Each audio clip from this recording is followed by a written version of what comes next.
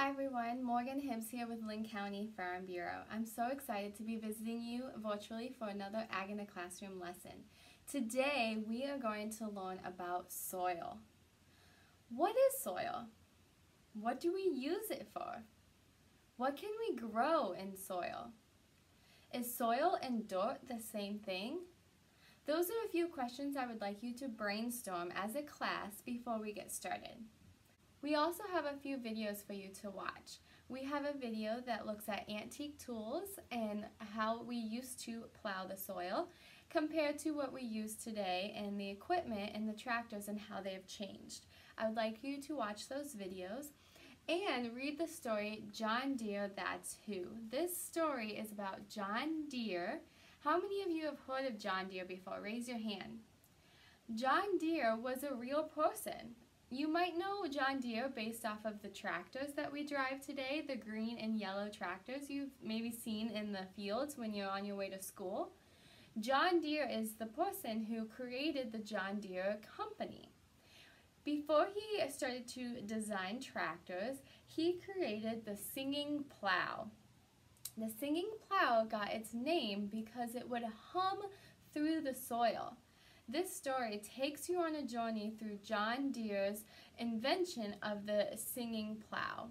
This plow was able to move through the soil here in the Midwest a lot smoother compared to the tools that they were using before he invented this plow. As you are reading the story, I would like you to pay attention to the type of soil they are plowing through. Now, the word plow, what does that mean? What do you think this machine or this tool, this uh, piece of equipment, what do you think it does? This tool right here is going to help to move the soil, making way for new seeds to be planted. It's going to store up the soil to help make it easier to plant. Farmers will often plow their field to create a nice bed for their seeds to lay. In the story, John Deere moved from the east to the Midwest. The soil in the east was a lot different than the soil here in the Midwest. Here in the Midwest, we had prairie grasses, the grasses that were so tall and thick and luscious that they had to plow the soil, mm, helping to uh, uproot those prairie grasses so that they could plant corn and soybeans, wheat, oats, and things like that. The soil in the east was more sandy. If you've noticed, if you go to the beach, what does the sand look like? How does it compare to the soil you see here in Iowa? When you hold out your hands, I would like you to hold out your hands. If you had sand in your hands, what would it feel like? Now, if you were to go outside and make a mud pie, what would a mud pie feel like?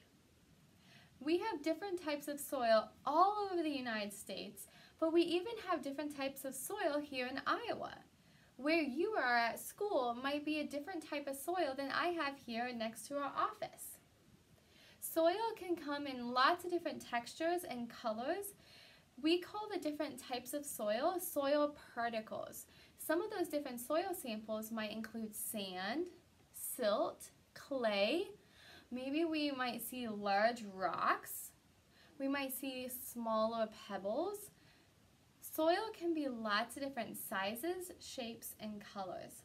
So today's activity, you are going to be painting with soil. We read about the different types of soil in our story, John Deere, that's who, and how he used a plow to move the soil here in the Midwest. So soil just like in our story, can come in lots of different shapes and colors. So we are going to make soil paint using two different kinds of soil. These soils actually came from Utah. We have a dark brown soil and a light tan soil. So you notice these two came from the same state, but they look very different. We can even find different soil in different states. To make a soil paint, you will need your John Deere Singing Plow coloring sheet, glue, water, a plate to help keep your paint uh, away from your uh, from being spilled onto your desk, popsicle sticks, a Q-tip or a paintbrush, and your soil paint recipe. If you did not receive one of our kits, you can collect soil samples from your backyard and maybe go uh, in two different locations in your backyard and see if they are similar or different. To make our soil paint, we are going to add some glue. You can just uh, estimate with this, but you want about a tablespoon of glue.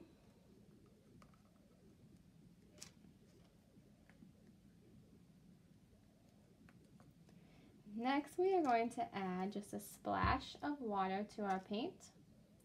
A little bit goes a long way and you can always add more. You want this to be the consistency of paint.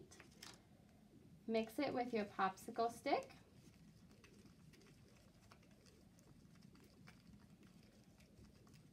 Be sure to put your popsicle stick back on your plate so you don't make a mess on your desk.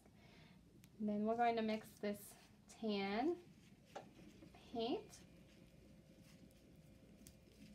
You'll notice this one's a little bit thicker. This might be more similar to the soil from our story, which he called gumbo because it was sticky and more of a clay soil, versus the black soil was more of a sandy soil, more loose, not as thick. Okay. Our John Deere singing plow is right here on this sheet and it was made of steel which was smooth and would slice through the soil like a knife through butter meaning it was a lot smoother moving it uh, through the thick uh, clay soil here in the Midwest compared to the old iron steel which had bumpy ridges on it and the uh, iron steel worked a lot better in uh, the east where it was sandy soil.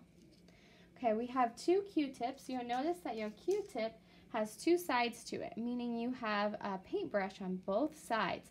So if you want to share paint with those around you, if your teacher says it's okay, you have two sides to use.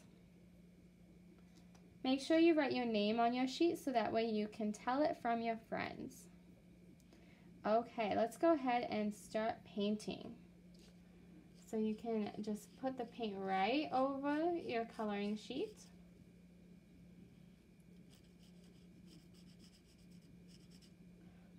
Let's try painting with the tan.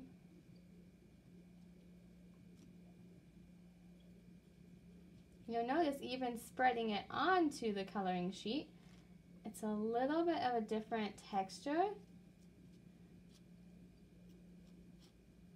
And texture is the word we use when we talk about what it feels like. So we have different colors, different textures, different uh, thickness. You can go ahead and finish coloring your John Deere singing plow and put it somewhere to dry.